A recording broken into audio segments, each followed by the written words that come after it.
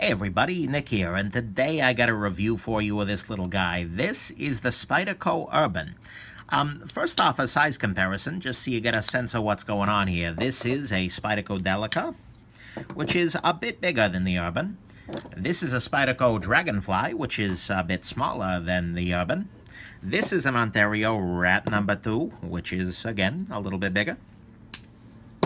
And, you know, in the same ballpark, this is a ZT0452CF, which is absolutely ridiculous, and is basically the anti-Spyderco Urban. Um, it is, yeah, just illegal in a lot, a lot of places. So anyways, there's your size comparison, uh, and you know what the heck, standard U.S. petty, because that's what's on the table this time. Um, I want to thank my buddy Pete for sending this guy along. I very much appreciate it, and uh, it's been a, a pleasure to play with here. And then also, one thing to point out is that this is one of the uh, that is actually made in Italy, which is interesting and different. So, uh, not an American-made one like the UKPK, which is funny that that's made in the US of anyways. But, um, yeah, so, Italian Spyderco. Let's go on ahead and do the usual. Let's jump into the good, the great, the bad, and the ugly of this particular pocket knife. So on the good side, first off, it does have the reversible Spyderco clip, which is a beautiful thing, the wire clip here. Um, not only because this is a great clip, but also it's a very deep carry option. You can slide this into your pocket and just the very edge of the knife is popping over and it doesn't look super, super knifey. So I'm a big fan of that. That's a great choice and especially on this knife, which is really designed to be a discreet, legal sort of carry, I, I like that choice very much. Um, so that's nice. The ergonomics on this guy are really pretty damn good. Um, it fits nicely in the hand. It's wide enough. It, between this uh, finger choil down here and the thumb ramp, this locks nicely into the hand. Um, it's not Spyderco's greatest ergonomic work, in my personal opinion, but it is really pretty damn good. Uh, I got no real complaints ergonomically about using this guy, and I could use this all day long if I needed to.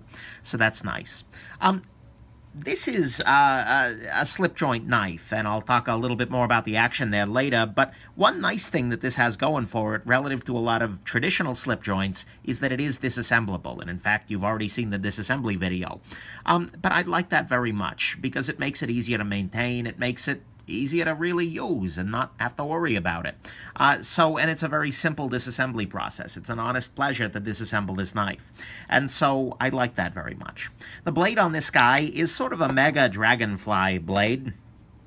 It's that leaf-shaped sort of blade. Someplace it doesn't have the swedge like the Dragonfly does, but, um, you know, it's it's a nice shape, honestly. Um, it's got a lot of good for it. It's a full flat grind the blade stock is not too thick, although it is on the thicker side. I believe it's slightly thicker than on the Delica. And I'm not sure that's super necessary. But, you know, nonetheless, um, it's it's a nice blade. There's no real complaint there. Uh, the steel is N690, which is just fine. It's kind of in the same ballpark as your 154CM, your 440C, but not chemically, but just in terms of usage, no problem. Uh, and one thing I really do like about this is that the full flat grind on this just misses the Spidey hole, which means you don't have that unpleasant little jump, uh, for instance, right here, where the spidey hole, which is supposed to be round and smooth, hits the full flat grind. That's not something that's usually done super well, and so I appreciate that the, the hole and the flat grind line here uh, do not quite intersect. Uh, so that's good. Then finally, on the good side, the slip joint action on this is very, very nice. Um, it's got this finger choil, which means that it's not going to close on you, even though there is no lock on this knife. I'm not pressing anything, I'm not touching anything. Just a little bit of pressure will shut the knife. But the thing is, once you got your finger there, I can do a whole lot to this knife. I can really push on it, but it's not closing onto my finger because, well, the blade would have to compress my finger first. And that's a nice way to do a slip joint. It is a slip joint, but practically speaking, it's being held open. There's no real question that it's going to shut in your hand, or on your hand more specifically. So I like that a lot. The other thing to point out is that this is actually a slip joint knife you, which you can close with one hand pretty easily. You just need to get enough pressure past to pop it shut. And so this is a slip joint, which is still operable with just one hand, which I appreciate. Um, not that it needs to be a slip joint, except for legal reasons, but still, if they're going to do it, this is a good way to do it. So uh, there you go. That's your good. It's got the nice Spyderco wire clip. The ergonomics are very good. Um, it is disassemblable, even though it's a slip joint. It's got a really nice blade, and it's got a great slip joint action. Uh, Spyderco does their slip joints well. If you watch the disassembly, I'll kind of show you exactly how it works. And uh, there you go. Let's jump into the great. The very best thing that this knife has going for it is that it is very, very legal. It is often the case that politicians will manufacture a, a, terror, a crisis, because scared people are more easy to manipulate, and the divided populace is also more easy to manipulate. Um, and so you will come up with some sort of issue, some externality, which makes everybody terrified, whether it's immigration, whether it's weapons, whether it's anything like that. All they need to do is make you scared and then separate you, and then they've won. Um, and very often it's the case that you get that with knife laws. Um, a politician will decide, you know what, I need to get the soccer mom vote a little bit, and they're scared, so you know what, those locking automatic knives are just terrible.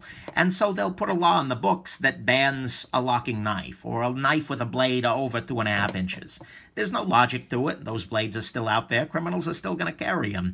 But it does make some people feel some warm fuzzies and makes those people vote for the politician who inspired the terror in the first place. It's a terrible fact of life, but it is a fact of life for some people. Whoops. Rant slipped out there. Anyways, this is a great knife for dealing with those because it's good with short blade laws.